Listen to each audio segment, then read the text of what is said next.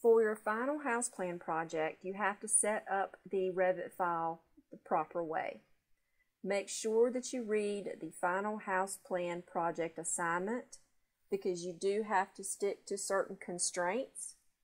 If you would like to browse house plans online to kind of get some ideas, uh, coolhouseplans.com is a good one to use. You can actually put in 1800 square feet, the number of bedrooms, bathrooms, and you can kind of see some different plans so you can uh, get some ideas of what you would like to lay out for your house design. So first, at the splash screen of Revit, we're going to go to New, and then we have to Browse. When we browse out to the templates, you need to choose Residential Default. Residential Default tell that open. Make sure that you are creating a new project, not project template. No, no, no. Make sure it is project and then tell this OK. You can use your Southport house as a guide so you'll know what to create, um, which levels you can delete, um, to set up different schedules to make your wall section. You can use the, the videos that we use to make the Southport house to help you make your house plan set. This will take you about a month and a half to do. So you have to come up with the design, you have to lay out all the furniture, you have to label the rooms, you have to dimension the house. You have to crop out your views. You have to create your elevations, your topo surface, your um, renderings, your door and window schedules, your wall section, your house plan sheets. So you have guides to do all of that. So at this point, the first thing you'll start to do is make your walls. And this house can either be a brick exterior or a siding exterior. You can use brick or wood siding on wood stud. Do not use the shingles. This is for a two-story house and we're not doing a two-story house.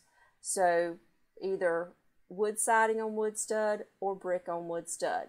When you place your wall, remember 8 feet is the height of your exterior walls and you want to place them finish, finish face exterior.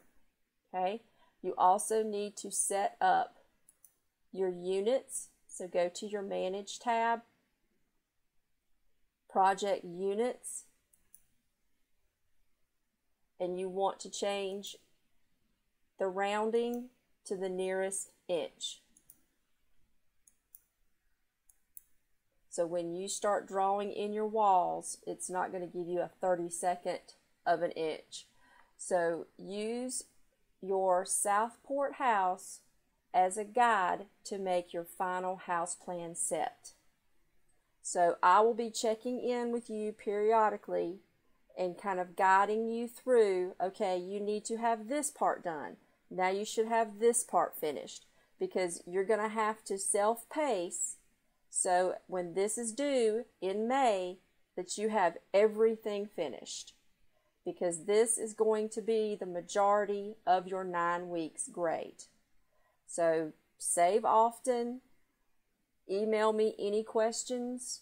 You have my um, number to text me any questions. I can help you in any way along the way.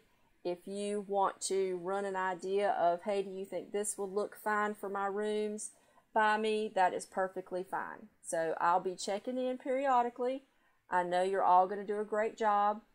And um, remember, do some research first. Look at different plans. Think about what you'd like to have. You have to keep it within 1,800 square feet. So keep placing those room tags and leave your square footage on for right now and add some things up because some people just start drawing it and then they end up with a 6,000 square foot house and somehow in the middle of their plan that they have been working on for four weeks, they have to redo the whole thing because they did not check their square footage. So take your time, do a great job. Email me if you have any questions.